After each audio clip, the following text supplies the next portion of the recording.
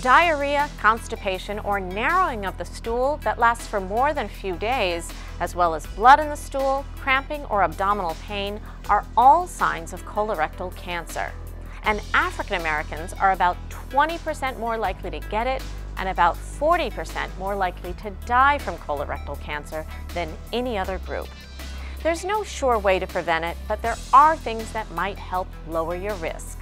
This type of cancer might not cause symptoms right away, so early screening is the key. The American Cancer Society recommends colorectal cancer screening for everyone beginning at age 45. For more information, speak with your healthcare provider.